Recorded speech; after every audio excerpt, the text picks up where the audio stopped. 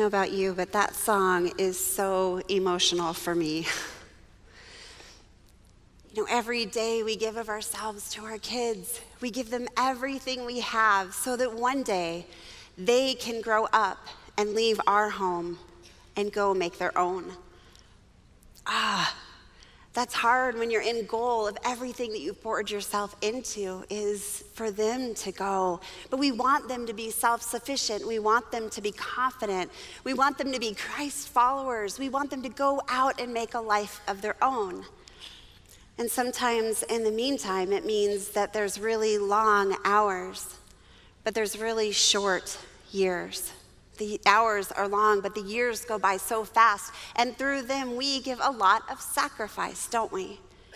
This last week, I uh, got to go on a field trip with my 12 year old, her sixth grade trip to the Grand Canyon. And I was so excited about it. I thought, okay, I had all these great plans. You know, when you're like a month out and everything seems possible? I thought, we're gonna have matching pajamas we're gonna have games for the bus, and I'm gonna have snacks for all her friends, and it's gonna be such a great time. Well, then, two weeks before the trip comes up, life happens. And when I say life happens, it like exploded on me. Uh, the car broke down, not once, but twice, mine. Um, the, the, thus delaying the trip to Target for jammies, right? The um, doctor's visits that came up. I mean, we have a turtle who ran away like, what else could happen? Right? No joke. We have a turtle named Max who's like this big, and he's gone. So we walked through all of this stuff, and it was like life just bombarded me. And I thought, does anybody see what I'm going through right now? I just want to go to the Grand Canyon and have matching jammies and snacks and games for the bus. But next thing I knew, it was midnight the night before the trip, and we were packing frantically, and I didn't even know if I had everything that I needed, that, let alone the things that I had wanted to take with us. And so we packed and we got on the bus, and I remember as we got on the bus, just this peace came over me like, if it's not in the suitcase, we don't need it. I could wear the same clothes for three days if I really forgot stuff. Like, it will be okay. What's most important is that I'm sitting there next to my daughter on this bus. And that was exactly where I was supposed to be, even though it was insane getting there. And if anybody finds a desert tortoise like that's like this size, let me know. But at that moment, all of that with the turtle and the cars and the doctor visits and transitions at work and all kinds of crazy things, all of that in this moment, I was exactly where I was supposed to be. And it was busy leading up to it. As moms, we are busy, aren't we? At times, we can feel like we are the glue that holds the family together. How many of you pack the backpack? And that sounds simple enough, right? You just pack the backpack. But then there's the folder that needs to be in there, the permission slip that needs to be signed, the lunch that needs to be in there, the snack that they need, and don't forget about the, the past due library books that need to be in there as well. You know, there's so many things. We have to have food in the pantry. We have to have school supplies bought. We have to have, and don't forget, Friday is Julie's party, and so we need to make sure we have a present for her. And I think like three people are going to come home with us and go to that party with us. Right? That's reality. Life is really busy. But yet, somehow, in the midst of all that busyness, we have a very special skill and that is that we see our kids. We see them in the midst of it. Sitting on that bus, I looked over and I saw my daughter. In the midst of all the craziness, that was such a gift. We see their struggles, we see their joy, we get to see them. We see the things that matter to them. And we also get to keep them safe. And in order to do that, we have to see ahead, don't we? There is nothing like a mom watching her toddler toddle towards a block or something on the floor that you know it's going to be face first, okay? And we are like ninjas, diving over to rescue that toddler from said block and, and falls on the floor and band aids and tears and everything else. What about when you're at a restaurant? You have to be forward thinking. You have to see these children because they will pick at something under the table, kind of quietly. And the next thing you know, you see it, it's going to the mouth. And you are like a frog going after a fly as you reach across the, the table and you grab the piece of chewing gum that they have picked out from underneath the table that they are about to put in their mouth and you take it away from them. We have to see them. We have to see when our teenager gets in the car and, and, and they get in like every normal day, but there's one sideways glance that tells us something in their day was off and that they need us. As moms, we have this unique ability to see. But sometimes I wonder as a mom if they see me. Sometimes I wonder if, if they see me for who I am, not just what I can do for them, the lunches that I can pack, the food I can make, but if they actually see me. Sometimes I feel like that magical person behind the scenes that just gets everything done. That I know that they see the results of the things that I do, but I wonder as a, as a mom, as my heart for them, and the things that are important to me in my life, even outside of them, do they see me? And for me as a mom, as a woman, sometimes I can feel invisible. Have you ever felt invisible? Have you ever felt that no one sees you? That they see the things that you do, but that they don't actually see you? If you're a mom of young children and you're the one who magically puts everything into place and makes sure everything gets done, then there's a sacrifice involved in that. Do you ever feel that that's not seen? I think this applies to many of us.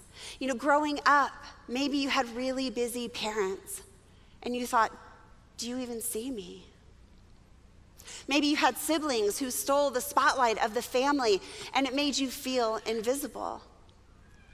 Maybe you have a boss who has passed you up once again for a promotion and you think, does he even see me?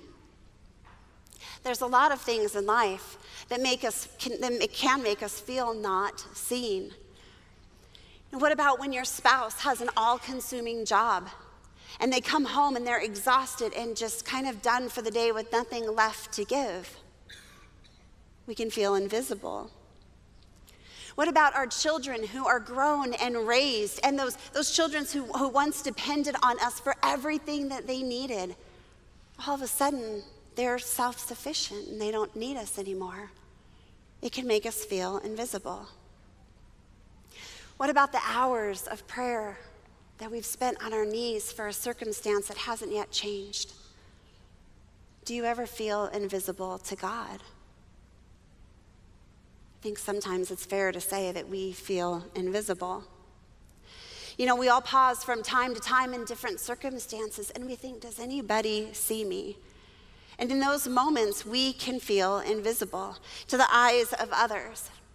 And the truth is that God sees us. And this morning, we're going to look at a story of a mother and a child in the Bible who feels unseen who feels disregarded, who feels like they're only known for the things that they can do and not who they are.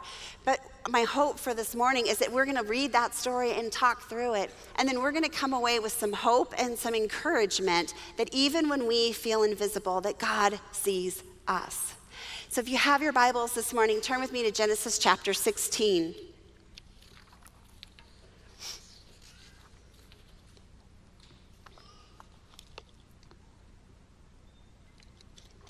Am I the only one struggling with allergies today? so awesome, huh?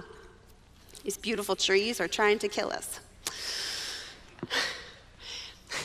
so, in this story, we are going to meet a mother named Hagar. And she is running away from the household of Abram and Sarai. And here's, here's the story behind Abram and Sarai. See, God has given them a promise of a son. And not just a promise of a son, but of many descendants that they can't even count the amount of stars in the sky that will be their descendants. God has given them a big promise in this child. But that promise is a little delayed, at least in Abram and Sarai's timing. They think it's taking a little bit too long, so Sarai has this idea. Boy, don't sometimes when we wait on God, we create our own ideas? I have done this so many times. Instead of waiting a little bit longer, maybe, but something beautiful comes out of it. She says, Abram, would you lie with my maidservant, Hagar? And would you lie with her and maybe I can have children through her? You could say maybe she's not believing the promise of God or maybe she doesn't want to wait, but either way, this happens and Hagar becomes pregnant. And the couple refers to Hagar as their maidservant, as the Egyptian, as, their, as the slave. And that those phrases, they don't speak to who Hagar is as a person, but the purpose that she was there to serve. But you're not defined by what you do. That's not your identity. See, they saw a maidservant, they saw a slave, they saw that she was an Egyptian, but who sees Hagar? We're about to see who sees her. Let's pick up the story in Genesis chapter 16. We're going to re- start reading in verse 5. Then Sarai said to Abram, You are responsible for the wrong I am suffering. I put my slave in your arms, and now that she knows she is pregnant, she despises me. I understand that. That'd be a rough situation. May the Lord judge between you and me. Abram says, Your slave is in your hands. Abram said, Do with her whatever you think is best. So then Sarai mistreated Hagar and she fled from her. So let's stop right there just for a moment. Can you imagine how Hagar would have felt? Like she may have been a little bit sassy to Sarai, okay? But then Sarai gets full permission from Abram treat her, do what you want with her. And so she runs, she flees, she's not appreciated. I'll bet she didn't feel seen.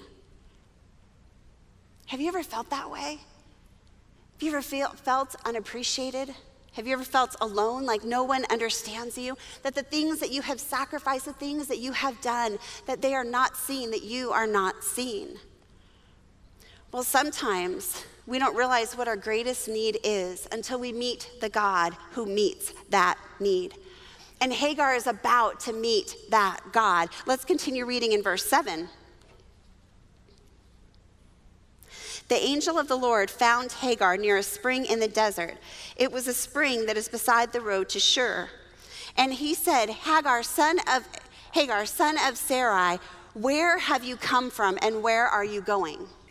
Let's stop right there for a moment and let's leave that passage up on the screen. There is so much in this passage the first thing I see here is do you notice what he called her? He called her by her name. He said, Hagar. I mean, that's beautiful. It's like saying, I know you, I see you.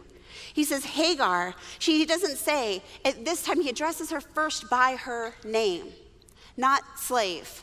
But then he does in the next verse, he, the next um, word, he says, slave of Sarai. It's as if he's acknowledging, God is saying, Hagar, I see you, I know you by name, but I see the circumstance that you are in. Slave of Sarai, I see your circumstance.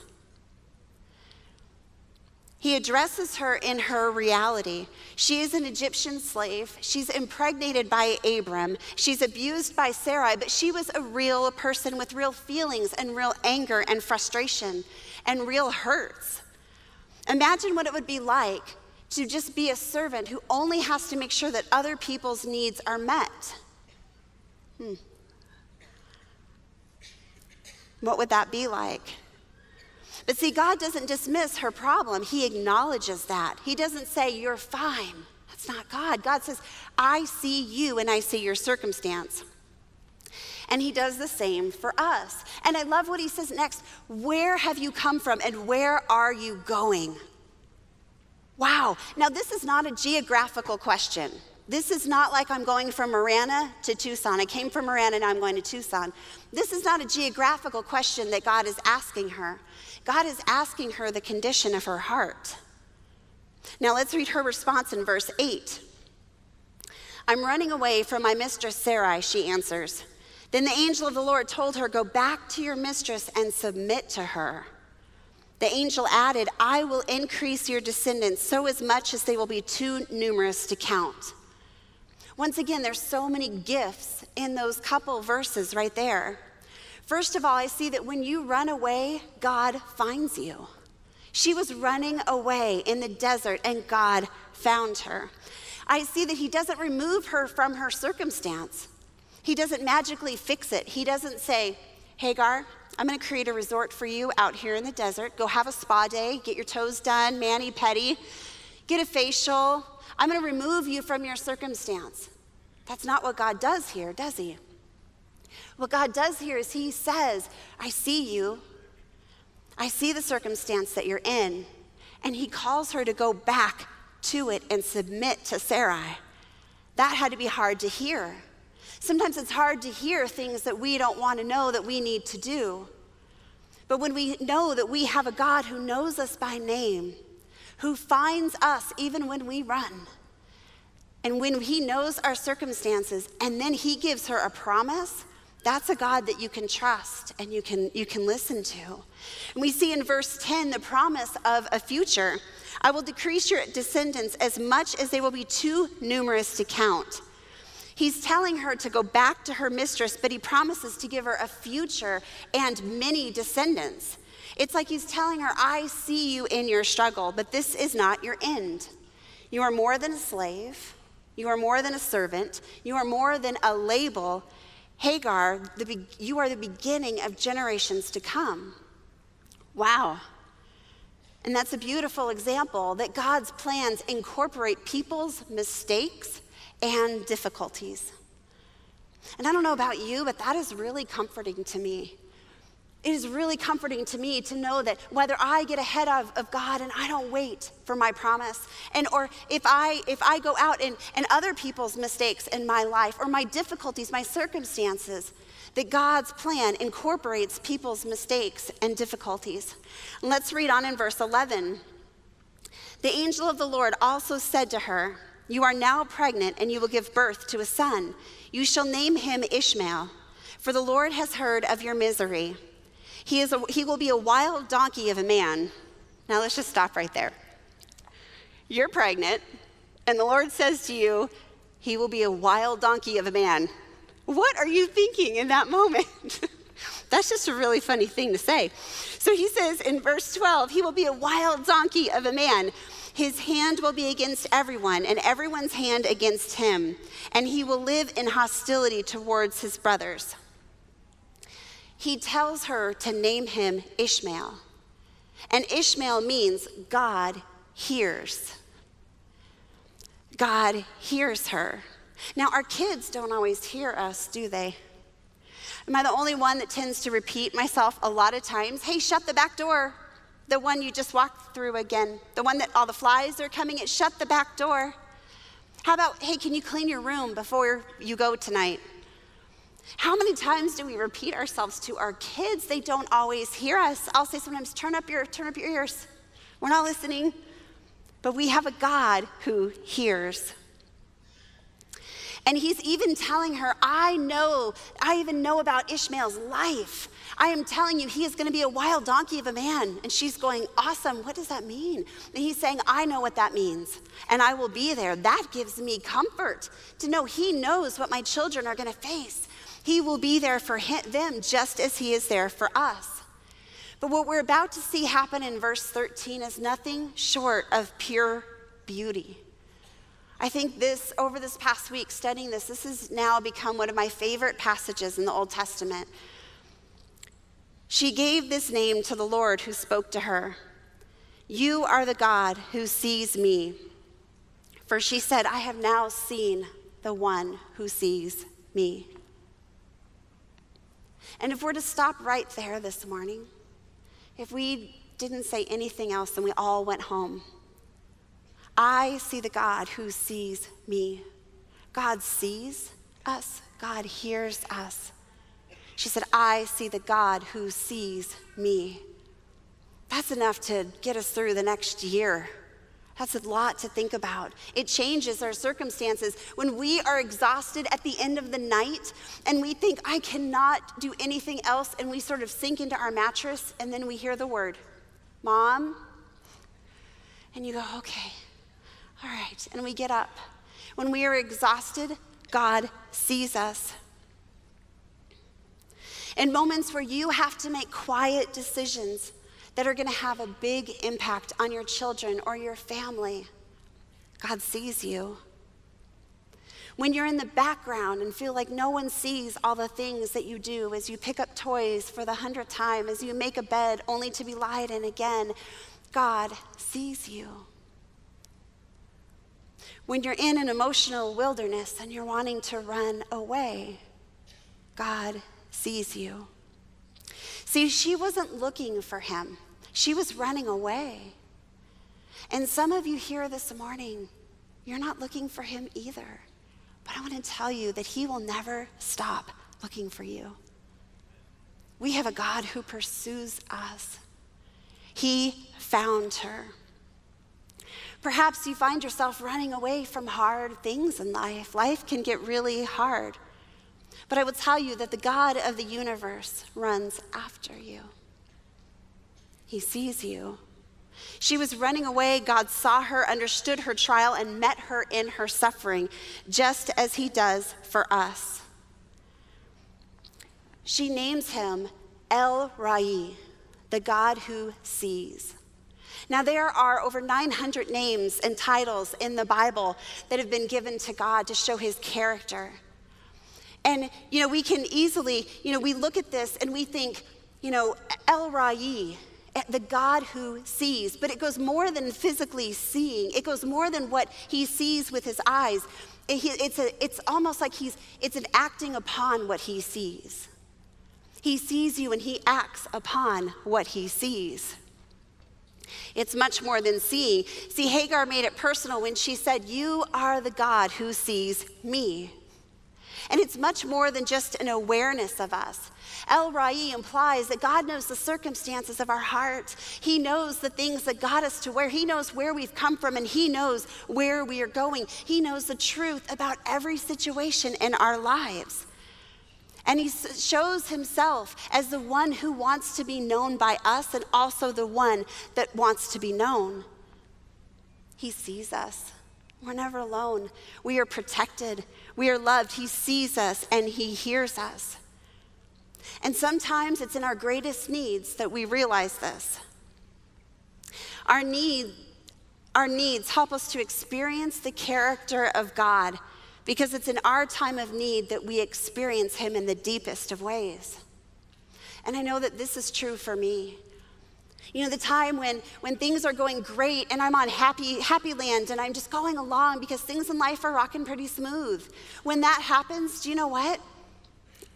Things are good. I don't always lean in the way that I could. But when things get hard, I'll tell you that's when I lean in. I always have this picture in my head of, of when God's yelling, like when God's talking really loud to me, I go, Yeah, hey, over there. But when he starts to whisper, when he starts to whisper, in my time of greatest need, when he whispers, I lean in to hear what he has to say. So when we feel like we are at a time of our greatest need, it is then that we get to see the greatest character of God displayed. Hagar may have felt invisible, insignificant, but it, she was actually a very significant part of God's story. And not for what she does, but for who she is. See, Hagar has the longest conversation in the Old Testament with God. If you look back, she has the longest conversation with God of men and women. So she has this long conversation with God where God shows up for her and she calls him El Roi. And if you look at over those 900 names for God and the character and the titles that we have for him, El Shaddai, all of those, Elohim, all of those, you will see listed El Roi. Looks like El Roi. And that is Hagar. She is the only one in the Bible to call him the God who sees. I think there's something beautiful that we can learn from Hagar. She meets a personal God. She says, I see a God who sees me and who acts upon what he sees. And she captures that significance of her encounter with God by naming him El Roi. And that truth is displayed all through Scripture. We see the God who sees displayed through the Old Testament all the way to the New Testament and all throughout it. One of my favorite places is Psalm 32 8. And it says, I will instruct you and teach you in the way you should go, and I will counsel you with my loving eye on you. Isn't that beautiful? He sees you with eyes of love. And sometimes, depending on seasons in my life, I know that if somebody would have said, God sees you, I would have thought, oh no, hide. it might not have been a good time to be seen. But he's not seeing us in that manner. He's seeing us to say, I see you. I will act upon it. I will be with you in the moments. I see you. He sees us with his eyes of love. He will guide us with his eyes. But how more amazing is it if we look back? I see the God who sees me as he guides us with his loving eyes and we turn back and we glance back at him. How much more amazing is that? And I don't know about you, but for me, this truth changes everything for me. When it feels like no one sees what you do every day, all of the mundane tasks that are in day in and day out, you know, the laundry, the dishes, the toys being picked up for the 17th time, the endless bickering. I don't know about you, but I have two people that live in my house that I have never even met or seen. Yet they cause a lot of fights, they make a lot of mess, and they break pretty much anything that's important to me. And their names are wasn't me and didn't do it. Do you guys have the, the do they live at your house too? wasn't me and doesn't do it. They do so much around my house. And the endless bickering that I have to, you know, figure out every day of, you know, well, who did do it? And I don't even care who did it. Just stop yelling at each other, you know? In those moments when you feel like no one sees what you do every day, you keep these little people alive. And sometimes it takes everything we've got, friends. Sometimes it takes everything we have just to keep our patience. and you wonder if anyone sees what you do in the shadows.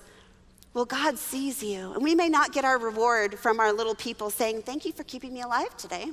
Or thank you for feeding me for the 17th time. Or we might not get that from them right now. But God sees us, and our reward is in Him. This changes everything. What happens when someone insults you? What happens when they belittle you? What happens when they tell you how to parent your children? What happens when somebody attacks your children in some way? This changes everything because we can be assured that He saw that conversation because God hears, God sees, He knows about that conversation. We don't have to come unhinged. We don't have to be defensive. defensive. We don't even have to set that person straight, even though everything in us wants to, especially if you come after our babies, huh? But we don't have to do that because God hears, God sees. That changes everything. What about when you're at the grocery store and your child is flipping out because you do not buy the right box of cereal? And it is not in the cart and they want it and you're saying no, and now they are on the floor kicking and screaming. And the first thing we do is look around to see who's watching, right? We look around to see do I know these people? Are they from work? Where, who are they? Um, or if you're like me, your kids will only flip out when there's people from church around. um, but you're in the grocery store and you're wondering, oh, they're seeing me. But guess what? God sees you in that moment too. But you know, instead of glaring or a judgmental glance, He is cheering you on, mamas. Know that this changes everything. What do you do when you feel like you're in over your head? Like there are challenges going on that, that are bigger than you are, and they are before you. You don't feel prepared, you don't feel qualified, you don't feel like you have enough time, you don't feel like you are enough to handle these challenges. Well, I want you to know that God sees you. And the glory of God is best demonstrated in our lives when we don't feel like we have enough or we don't feel like we are enough. See, with El Roi, if you've ever been left out, had your opinions not listened to, if you've ever felt alone, if you've ever been in a desert, He hears you, He sees you, He hears your cries, He sees you, and He acts upon what He sees. When Hagar says, I have seen the one who sees me, I believe that is an invitation do you see what he sees? And I'm not talking about physically, but I'm talking about do you see what he sees in you? Do you see the potential that he has put in you? Do you see the gift that is uniquely you? The things that God has put inside. What is unique about how God, how the way, the way that God created you? What is unique about that? Each one of us sit in this room completely unique and completely different from each other. So, what if we see ourselves the way He does? What if we look for the right inside of ourselves instead of the wrong? What if we stop criticizing ourselves and we say, God, show us how you see us? What if we see the value that He's placed in us? I have a fun fact for you this morning. Did you know that there is gold in your body right now? As you sit here this morning, there is real gold that is flowing through your veins. And about a 150 pound person, there's 0.22 of a milligram of gold that is actually in your body. And it's concentrated in our blood, but it tends to kind of stay around the heart in the highest concentration because obviously that's where our blood gets pumped out of. But see, there is gold that is actually in your body that God has put there. And so today, I'm going to put out a challenge for all of us. Okay, it's a two part challenge, all right? You're like, it's Mother's Day. There's no jobs to do. This is a good one, I promise. I want to challenge you to be a gold prospector. Do not confuse that, please, with gold digger. I've been waiting all morning to say that. um, I want to challenge us to be gold prospectors, to look for the gold in yourself. It's there. God has put it inside of you. There are things that only uniquely you can bring to the world today. So let's be gold prospectors. Let's look for the gold inside yourself. Let's stop in the busyness in our lives and actually see the gold that God has put in us. Because if we start seeing the value in us instead of our faults, we're also going to start seeing the value and the gold in others. So here's your challenge. Challenge number one of two, okay? Number one, tomorrow morning is Monday, the wonderful Monday, right? And you're gonna get out of bed, right? Like you always do, or you wouldn't be here. You're gonna put your feet on the ground and you're gonna walk at some point to the bathroom. And you might be putting your hair up in a messy bun to take your kids to school. You might be getting fancy because you're going into the office. You might be just brushing your teeth because it's your day off and you're just gonna sit and enjoy coffee for a little while. But at some point, you're gonna see your reflection in the mirror. And when you do, I want you to pause for a second. All of us will have this moment at some point tomorrow morning. And I wanna ask you to do this. I wanna ask you to say, God, would you allow me to see myself through your eyes? Would you allow me to see myself the way you see me? His eyes are loving, and you were created with value and a purpose. And may we see the gold that He has placed in us. May you see the gold that He has placed in you. Because, see, when we see ourselves the way God sees us, we can only help but see others around us in the same way. And that brings us to challenge number two. Okay? So, challenge number one you are a gold prospector. Just know that. First, we're going to find the gold in ourselves. We're going to ask God to reveal that to us. What does He want us to know? What is uniquely you that only you can bring to the world today?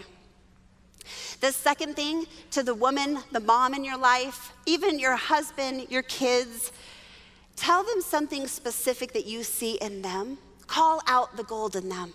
Tell them something specific about themselves. Now, when my kids are fighting and I say, say something nice to each other, they're like, You're nice, you're good at spelling, I like you.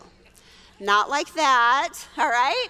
So, something really specific that'll hit home.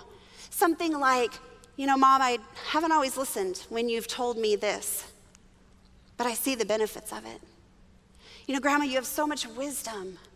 And I, I, remember when you told me this, I actually remembered that in my life. Let's go and call out the gold in those around us. You know, when you see a friend and you can say, hey, you know what? I just want to tell you, in case no one else tells you today, that your kids are awesome and that you are doing a great job. Call out the gold. If that mama and that child is laying on the ground in front of the cereal aisle, walk by and tell her, you're doing a great job. It's in that moment she will see, she will feel seen by you, and she will feel encouraged and cheered on. And moms, we don't always feel that our kids see us. But I want to tell you and encourage you that they do. When I went to the Grand Canyon with my daughter, on my way home, we were sitting in the bus, and I was actually kind of revving up, thinking, okay, the vacation's over, it's time to go back to life. And, and I still have a missing turtle, and my car is still on the fritz, and we have all this stuff still going on, right? And my daughter leans over to me and goes, Hey, mom, I know you have a lot going on. Thanks for coming with me. And it was so simple, and I almost lost it on her. Because I thought, you saw it, you saw. And, and I don't want her to see all the sacrifices. I mean, that's okay if she does, you know. But that's like not what I want her to focus on. Because what I want her to focus on is that I did it for her. Of all the gold she could have pulled out in, from me in that moment, Mom, thanks for coming with me. Ah, she saw I put her first. And maybe because I complained a little, she might have seen some of the sacrifices that I made to get there. But that's okay. So, mamas, I want to encourage you that they do see you. The last thing, where are you coming from and where are you going? What is it that has shaped you and made you and brought you to where you are today? And what does God want to do with those circumstances? Because our circumstances change, but what is constant is that we have a God who sees us, who hears us, who knows us, and who pursues us. And that, friends, changes everything. Let's pray together. Heavenly Father, Lord God, I thank you so much for the message of Hagar, God. God, I thank you that you are a God who sees. And I thank you that we are known by you, Lord, that you know our names, that you know our circumstances. And God, I just ask that this week, Lord, that you would help us to see ourselves through your eyes through your loving eyes. You are a God that we can trust. And Lord, we thank you for that. We thank you for how you pursue us, how you hear us, and how you see us, Lord. God, we love you. It's in Jesus' name we pray. Amen.